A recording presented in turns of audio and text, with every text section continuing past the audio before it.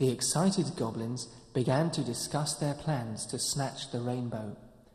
We'll eat the colours while the rainbow is still fresh and juicy, they said.